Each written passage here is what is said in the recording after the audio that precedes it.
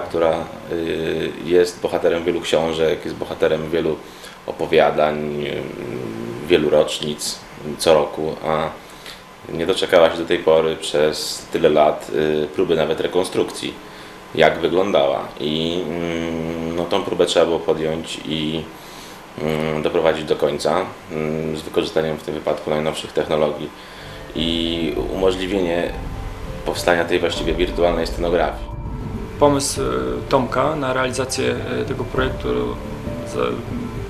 miał miejsce 1, 1 stycznia, tak żeśmy sobie to określili, zastanawiając się dokładnie, która to była data 2008 roku.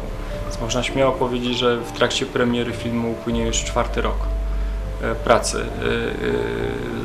Założenia były proste, czyli architektura Warszawy z okresu międzywojennego, której nie możemy zaobserwować i znaleźć nigdzie mm, poza e, starymi fotografiami, e, starymi filmami. I zostają nam archiwa państwowe, miejsca, w których e, rzadko kiedy się wybieramy, żeby sobie zobaczyć jak wygląda Warszawa. I to założenie przerodziło się tak naprawdę w profesjonalny, wysokobudżetowy film, może nie film pełnometrażowy, ale film dokumentalno-sensacyjny, który zaprezentuje naszemu widzowi mm, to, czym i jak wyglądała Warszawa z okresu międzywojennego.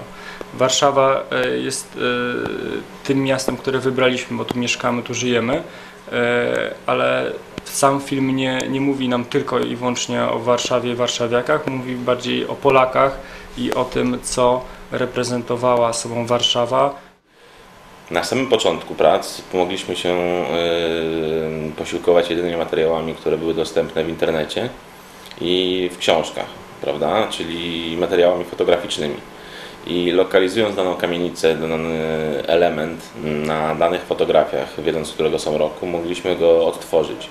Fotografie zwykle te były mm, kiepskiej jakości, dopiero potem zaczęły pojawiać się lepsze, szczególnie przy podczas współpracy z Archiwum Państwowym y, i z biegiem czasu, jak napływały lepsze zdjęcia, musieliśmy często wracać do danego modelu i jeżeli coś nowego mm, wyszło na jaw, co, czegośmy nie wiedzieli wcześniej, bo na przykład nie mieliśmy z takiej odległości zdjęcia, no to musieliśmy to poprawiać. Marszałkowska e, to jest centrum, e, główny punkt naszego filmu. Dlaczego? Bo była najbardziej mm, rozwiniętą częścią miasta. Już był asfalt, były światła, mm, zmiany ręcznie, ale były, były korki. E, to było pełni żyjące, funkcjonujące, nowoczesne miasto.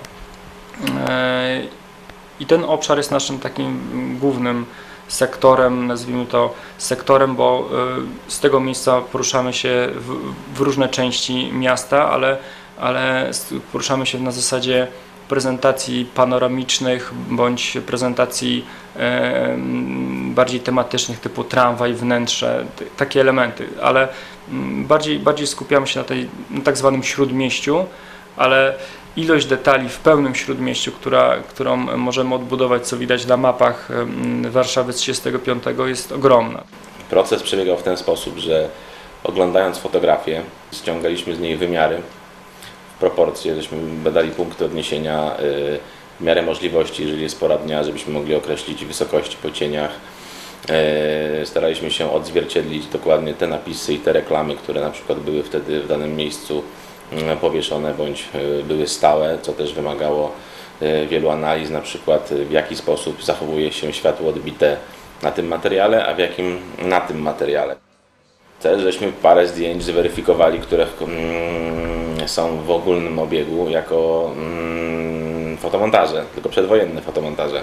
A mm, są tak dobrze zrobione, że na pierwszy rzut oka tego nie widać, prawda? Natomiast dopiero jak zaczynamy wchodzić w odzwierciedlanie tego matematyczne, to coś się zaczyna nie zgadzać. Coś się zaczyna nie zgadzać i nagle się okazuje, że to niemożliwe, żeby ten tramwaj miał taką wysokość, bo by się do niego człowiek na przykład nie zmieścił, on jest tam doklejony.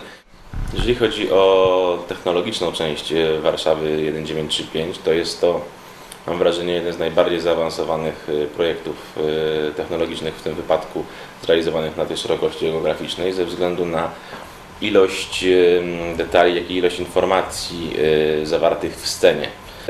Pełna scena, na przykład jedna, zawiera w sobie ponad 2 miliardy wielokątów. To jest, jak ktoś jest z branży mniej więcej, to będzie wiedział, że jest to bardzo dużo że trzeba sobie z tym radzić.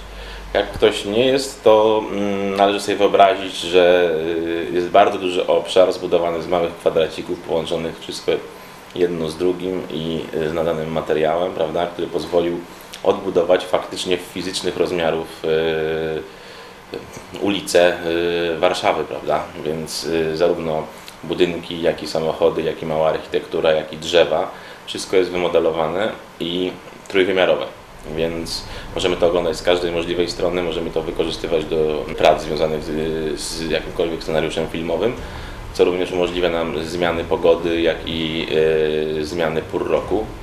a dołóżmy do tego motoryzac- motoryzację, dołóżmy do tego mm, e, ludzi, gwa- gwar, atmosferę, trąbienie, pierwsze e, światła, asfalt e, e, i nagle wyobrażenie nasze o, o Warszawie, o Polsce się zupełnie zmienia, bo widzimy to w kolorze, widzimy to w płynnym ruchu, dodatkowo widzimy to w technologii 3D, która e, e, no, daje nam poczucie przestrzeni i, i, i ogromu tych wszystkich kamienic, tych wszystkich fasad, e, piękna tych wszystkich elementów.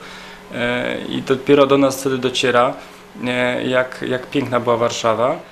Premiera, e, trzymamy się mocno daty 2012 i nie, nie, nie, nie, nie wyznaczamy sobie jeszcze konkretnie miesiąca, ale oczywiście chcemy jak najszybciej.